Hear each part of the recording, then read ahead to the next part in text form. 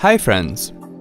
Are you getting the error code 0x8024402C on installing updates via Windows Update in your Windows 7 PC?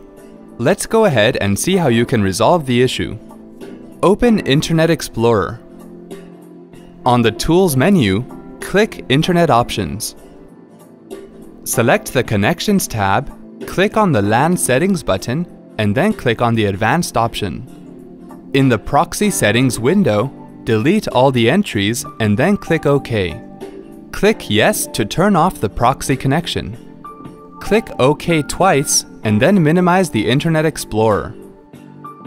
Click on Start menu and then type CMD in the search box.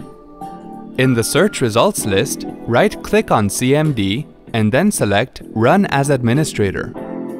Click the Yes button in the User Account Control window that appears. Type NETSH space win HTTP space reset space proxy and press enter. Type net space stop space W-U-A-U-S-E-R-V and press enter. Type net space start space W-U-A-U-S-E-R-V and press enter. Type exit and press enter. Now you can try to install the updates. If it works, it's fine.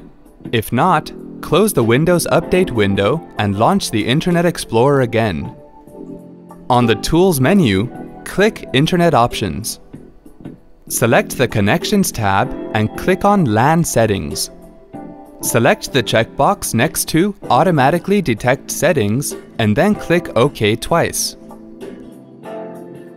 Close Internet Explorer and then try to install the Windows Update again.